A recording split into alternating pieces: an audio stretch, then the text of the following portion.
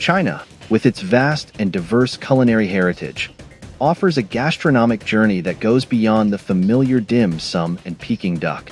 For the adventurous eater, China presents an array of unconventional and exotic dishes that challenge the palate and redefine the concept of food. Deep fried spiders. Fried spider is a regional snack in Cambodia. In the Cambodian town of Skuon, Cheung Prey, Kampong Cham, the vending of fried spiders as a specialty snack is a popular attraction for tourists. The spiders are bred in holes in the ground in villages north of Skuon, or foraged for in nearby forestland and fried in oil. It is not clear how this practice started, but some have suggested that the population might have started eating spiders out of desperation during the years of Khmer Rouge rule, when food was in short supply. The taste has been described as bland, rather like a cross between chicken and cod, with a contrast in texture from a crispy exterior to a soft center. The legs contain little flesh, while the head and body have a delicate white meat inside. The abdomen is often not consumed, however, as it contains a brown paste consisting of organs, possibly eggs, and excrement. Some people call it a delicacy, while others recommend not eating it. Sea cucumbers. In China, sea cucumbers have been highly prized for centuries for their nutritional value and texture, if not their flavor. They are believed to have medicinal properties, treating ailments from arthritis to impotency. In their wild state, though, they have become a rarity, even on Guanglu Island, off the Liaodong Peninsula, which is famous for them. In a few decades, demand has all but depleted the natural stocks of the local species. In Chinese literature, the earliest documentation on the cooking of sea cucumbers was in the Ming and Qing dynasties. Before transformed into a deluxe food ingredient, a freshly caught sea cucumber needs to be gutted and dried. Dried sea cucumbers need to be rehydrated before cooking. Century eggs. Century egg, also known as preserved egg or thousand-year egg, is a Chinese delicacy that has been enjoyed for centuries. It may look quite weird and uncommon from regular healthy food. You may wonder what does a century egg taste like? In fact, there are two popular types of preserved eggs in China, including salted egg and this century egg. On the surface of the century egg, there are beautiful crystallizations of amino acid salt, similar to pine flowers, on the surface of the eggs. So those eggs are also called pine flower eggs. In terms of taste, the white part and the yolk part are quite different from each other. The creamy yolk is considered the star of a properly century egg, its texture transforms from liquidy and runny before curing to a rich, thick, custard-like consistency. In contrast to the opulent yolk, the egg white transforms into a gray-black or golden-yellow translucent jelly-like solid with a bouncy texture. The taste of the egg white can form a lovely comparison with the creamy egg yolk. Chinese people share health concerns about century eggs too. Fried centipedes. Eating insects and centipedes is a long-standing tradition in Lijiang City, located in Yunnan Province, China. While they are high in protein and considered delicious by locals, their appearance can be off-putting to those who are not accustomed to the local culture. The venom of centipedes is known to be unique in the animal kingdom. It is composed of a cocktail of toxins that simultaneously disrupt the victim's cardiovascular, respiratory, muscular, and nervous systems. The centipedes are usually harvested during the summer months and early fall in the surrounding forests when they are most active. First, live centipedes are submerged in boiling water for several minutes. This process helps to kill the centipedes and loosen their exoskeletons, making them easier to handle. Next, the centipedes are removed from the boiling water and allowed to cool. Once they are cool enough to handle, their exoskeletons are carefully removed and their venom glands are manually extracted. Finally, the centipedes are cooked using traditional methods, such as stir-frying with garlic, ginger, and other spices until they become crispy. Shark fin soup. Shark fin soup is one of the most controversial dishes in Chinese cuisine, with protesters lobbying for a ban on the harvesting of shark fins. Fans of the soup say that such bans unfairly target Chinese populations. Shark fin dates back to the Song dynasty, one of Imperial China's most prosperous dynasties, regarded as a golden age in Chinese history. Shark fin soup was a status symbol for wealthy and powerful Chinese, who would consider a family who couldn't afford to serve shark fin soup at the wedding banquet a family not worth marrying their daughter into. The soup itself is made from chicken or pork broth, and the shark fin has no actual flavor. The fin, which is made of cartilage, adds a certain texture to the soup, a hard-to-describe mixture of both crunchy and gelatinous and is essential to the essence of the soup. In traditional Chinese medicine, the shark fin is said to have special properties in improving the qi, the essential life force of a person. Bats and bamboo rats. Bats and bamboo rats are consumed in various regions of China, though their culinary use is more localized and less widespread compared to more common meats like pork, chicken, and beef. Consumption of bats is more common in southern China, particularly in Guangdong and Guangxi provinces. Bats are typically prepared in soups or stews. They are believed to have medicinal properties and are sometimes used in traditional medicine. The meat is described as having a gamey flavor, somewhat similar to that of wild fowl.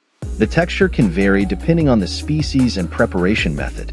Consumption of bats has raised health concerns, particularly due to their potential to carry diseases, including viruses that can be transmitted to humans, zoonoses. This concern has been highlighted by outbreaks of diseases such as SARS and COVID-19, which are believed to have links to wildlife trade and consumption. Bamboo rats can be roasted, braised, or used in soups and stews. They are often cooked with various spices and herbs to enhance their flavor. The meat of bamboo rats is tender and is often compared to that of rabbit or chicken. Both bats and bamboo rats are sometimes consumed for their purported health benefits in traditional Chinese medicine.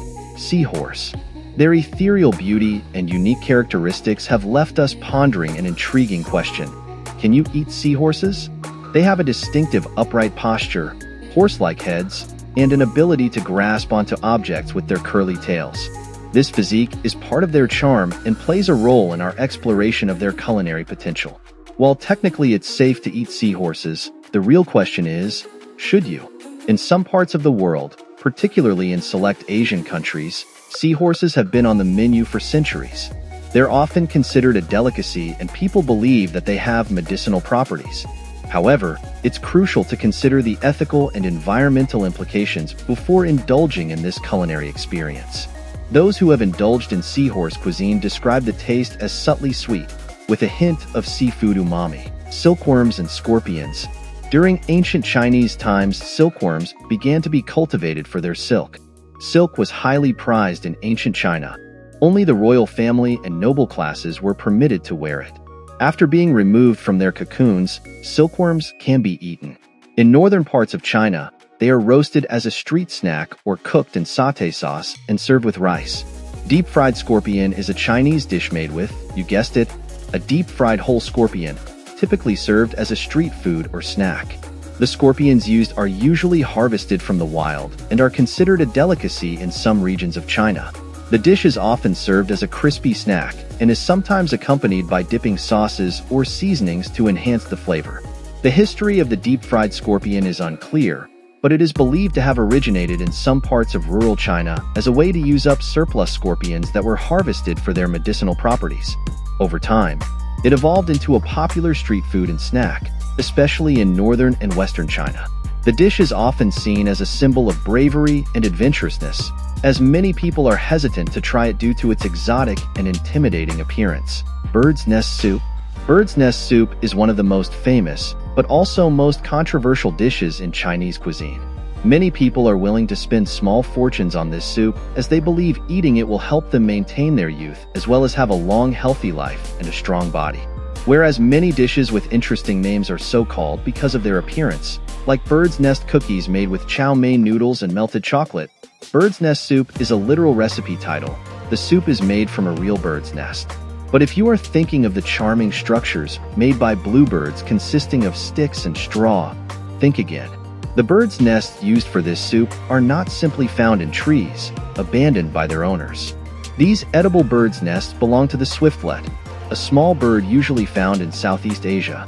The swiftlet lives in dark caves and, similar to bats, use echolocation to move around.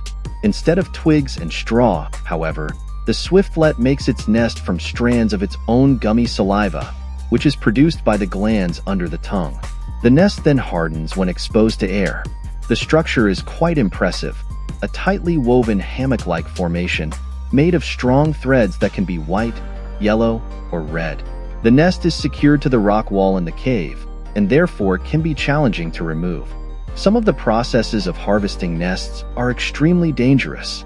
The nests are usually located at the top of caves, and the nest collector has to use a very narrow, shaky, and long wooden ladder which they climb on top of to reach the nests. Because this is so dangerous, many nest collectors have lost their lives. Stinky Tofu Stinky tofu, a special snack with Chinese characteristics, the cooking method and edible method of which differs between different regions. For an instance, North China is different from South China. In South China, for stinky tofu, different regions have different cooking method and edible method, and the taste is also different with the same characteristic, smells bad but tasty. The strong-smelling preserved soybean curd of Changsha is very famous. Stinky tofu is rich with plant original lactobacillus which has a good manipulating effect to intestine tract. The product color is yellow, tender with a crisp crust, and fresh and spicy taste. The traditional method of producing stinky tofu is to prepare a brine made from fermented milk, vegetables, and meat. The brine can also include dried shrimp, amaranth greens, mustard greens, bamboo shoots, and Chinese herbs.